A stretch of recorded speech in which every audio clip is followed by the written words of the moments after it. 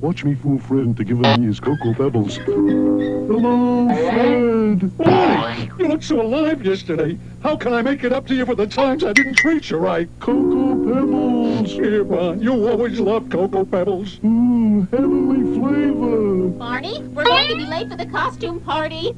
Costume party? You know, Angel. You said it, Fred. Post Cocoa and Fruity Pebble cereals, a great tasting part of a balanced breakfast.